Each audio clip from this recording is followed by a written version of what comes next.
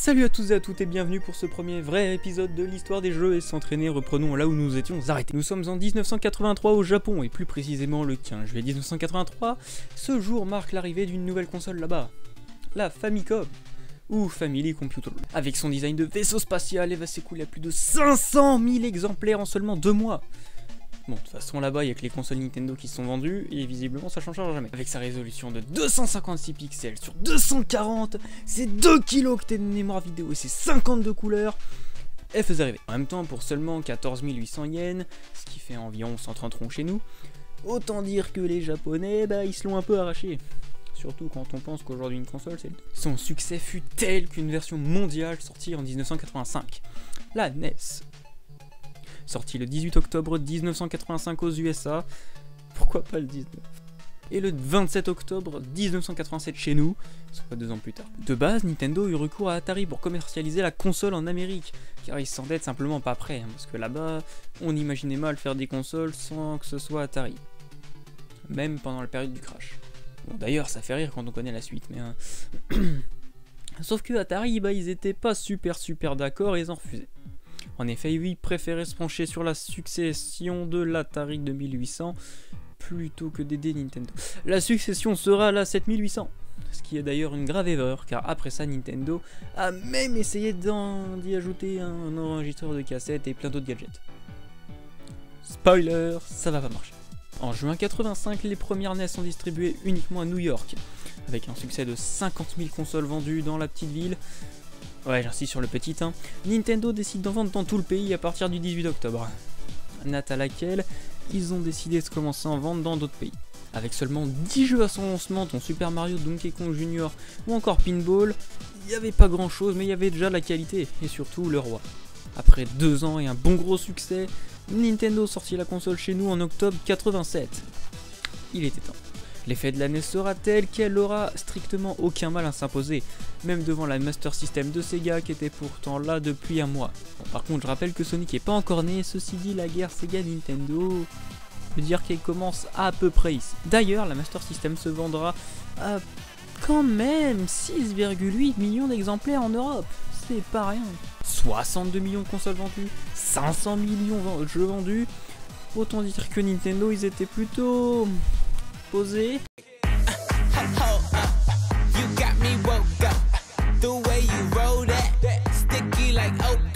Castlevania, Mega Man, Zelda, Metroid, Nintendo s'installera peu à peu avec des campagnes publicitaires monstres comme Zelda 2 ou Teenage Mutant Ninja Turtles ou l'arrivée du Zapper et de Doc Hunt. La console de Nintendo a réussi à tenir jusqu'en 90 sous le poids de la concurrence qui commence à évoluer. D'ailleurs, en 90 sort aussi la première console portable, la Game Boy qui sera d'ailleurs la première console portable de l'histoire. Mais qui avec des jeux comme Pokémon ou encore Tetris s'imposera avec plus de 118 millions de consoles vendues. C'est juste énorme. Et Sega, bon, tentera bien de tenter la chose avec la Game Gear l'année suivante, mais avec son manque de batterie et son manque évident de jeu, on n'en sera qu'à 10 millions, soit un dixième même pas de ce qui a été vendu.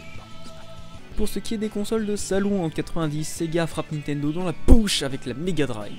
sortira le 30 novembre chez nous, Ouais, alors je vais pas vous donner les dates de sortie ricaine et nippon à chaque fois, parce que sinon vous allez vous paumer, mais genre vraiment. Avec ses 16 bits, la Mega Drive se révèle bien plus puissante que la NES. Nintendo réplique alors en juin 92 chez nous avec la légendaire Super NES. Troisième génération de console se finit alors pour laisser place à la quatrième. D'ailleurs, cette quatrième génération marque l'arrivée d'un concurrent majeur en 91, Sonic exagère. Mega Drive versus Super NES, Nintendo versus Sega, le versus rouge, Mario contre Sonic. La guerre est lancée. Pas m'attarder sur cette guerre parce que j'aimerais bien faire une vidéo dessus. Alex Kidd, Sweet of Rage, Sweet Fighters, les Schtroumpfs, Sonic La Mega Drive et va tenir face à Nintendo qui enchaîne les licences et les hits également avec notamment Mario Bros 3, Secret of Mana, F-Zero, Chrono Trigger et Street Fighter aussi. Bon, c'est sorti sur les consoles, c'est pas grave.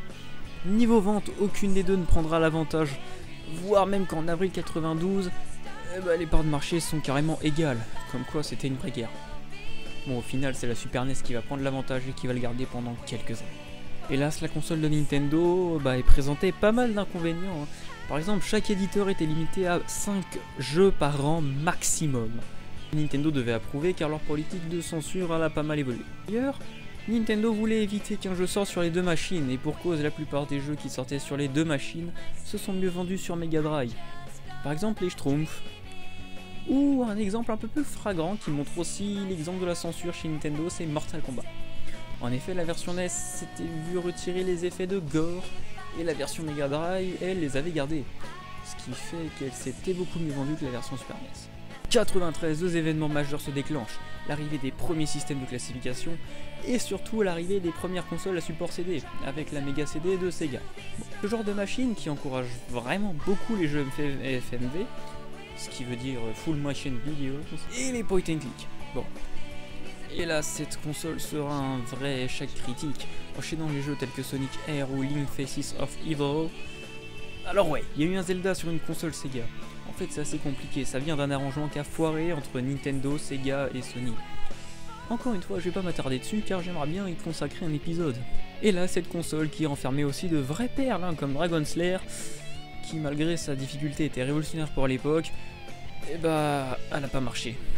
D'autant que son prix fut également un grand frein pour quiconque voulait l'acheter, et coûtait quand même deux fois plus cher que n'importe quel autre à l'époque. Évidemment, cette console ne fit rien Nintendo qui enchaîna les jeux, les extensions telles que le Super Scope, pour s'écouler à plus de 49 millions d'exemplaires contre 39 pour la Mega Drive. C'est donc une victoire pour la Super NES sur la quatrième génération. Hélas pour les deux concurrents, la cinquième génération arrive. Leur ancien allié Sony débarque avec la PlayStation. Mais on verra tout ça une prochaine fois parce que cet épisode est déjà très compliqué. Je sais pas quelle durée il fait, mais en tout cas ça commence à partir en Game of Thrones. Sur ce, j'espère que ça vous a plu. Et surtout, vous avez compris ce que je racontais. Hein. Si c'est le cas, j'en suis ravi. Et sinon, n'hésitez pas à le dire en commentaire pour que je puisse m'améliorer. Alors, je prends aussi 30 secondes pour vous dire qu'on a un Twitch. Alors, n'hésitez pas à viander. Hein. On est gentil, on joue à des jeux sympas.